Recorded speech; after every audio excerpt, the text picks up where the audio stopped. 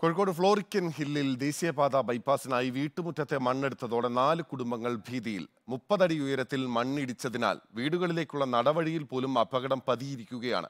എൺപത്തിയഞ്ച് വയസ്സുള്ള അമ്മ വീട്ടുമുറ്റത്ത് നിന്ന് ദേശീയപാതയിലേക്ക് വീണ് കിടപ്പിലായിട്ട് പോലും ഉദ്യോഗസ്ഥർ തിരിഞ്ഞു നോക്കിയില്ല. മഴ കനത്തതോടെ മണ്ണിടിച്ചിൽ ഭീതിയിലാണ് പ്രദേശവാസികൾ. രണ്ട് മാസം മുൻപ് വരെ ഇതുവഴി വാഹനങ്ങൾ വന്നിരുന്നു. എന്നാൽ ദേശീയപാത ബൈപ്പാസിന് വേണ്ടി മണ്ണെടുത്തതോടെ ഇത് നടവഴിയായി ചുരുങ്ങി. സൂക്ഷിച്ച് നടന്നില്ലെങ്കിൽ കാൽവഴുതി താഴേക്ക് വീഴുമെന്ന് ഉറപ്പാണ്.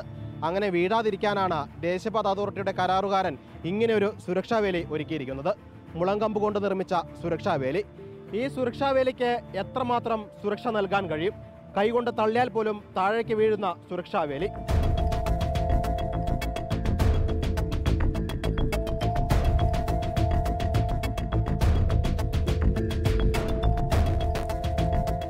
മുളങ്കമ്പിന്റെ സുരക്ഷാ വേലി പോലുമില്ലാത്ത സ്ഥലങ്ങളും ഇവിടെയുണ്ട്. ഒരു മാസം മുൻപാണ് എൺപത്തിയഞ്ച് വയസ്സുള്ള ശ്രീമതി അമ്മ ഈ ശുചിമുറിയിൽ പോകാൻ വേണ്ടി ഇതുവഴി വരുന്ന സമയത്ത് കാൽ വഴുതി നേരെ താഴേക്ക് വീണത്. മുപ്പത്തിരണ്ടടി താഴ്ചയിലേക്കാണ് വീണത്. ഇന്ന് തുടയൽ പൊട്ടി കിടക്കുകയാണ്. എന്റെ പെങ്ങളെ വീണ് വീണെടുക്കുന്നത്. ഈ വഴിക്ക് അങ്ങോട്ട് താഴോട്ട് വീണതാണ് ഏകദേശം ഇരുപത്തെട്ടടി മുപ്പതടി താഴോട്ടാണ് വീണത്. പക്ഷേ മരിച്ചിട്ടില്ല എന്ന് മാത്രമേ ഉള്ളൂ. ആ ഒരു കിടപ്പാണ് കിടക്കുന്നത് ഇത് ഞങ്ങൾ അവരെ അറിയിച്ചു. ഉദ്യോഗസ്ഥന്മാരെ അറിയിച്ചിട്ട് എല്ലാവരും ഒന്നും നോക്കിയിട്ടൊന്നുമില്ല. ആശുപത്രി പോകാനൊക്കെ ഭയങ്കര ബുദ്ധിമുട്ടാ. വണ്ടി അപ്പുറത്തെ ഇടയിൽ വരണം. അവിടെ തെറ്റം നടന്നു പോകണം. അല്ലെങ്കിൽ എടുത്തു കൊണ്ടുപോകണം. ആ ഞങ്ങൾ നാലാൾ പ്രായമായവരാണ്. ഇപ്പുറത്തെ വീട്ടിലൊക്കെ മക്കളുണ്ട്. ഇവിടെയൊക്കെ വന്ന് കളിക്കുന്നവരാ. അപ്പം ഞങ്ങൾ എപ്പോഴും ഇങ്ങനെ ശ്രദ്ധിച്ചുകൊണ്ടിരിക്കണം നമ്മൾ ഇത് അപകടം പറ്റിയിട്ട് അവിടെ പോയി പറഞ്ഞിട്ടുണ്ടായിരുന്നു. നാഷണൽ ഹൈവേന്റെ ഓഫീസിൽ പോയി പറഞ്ഞു.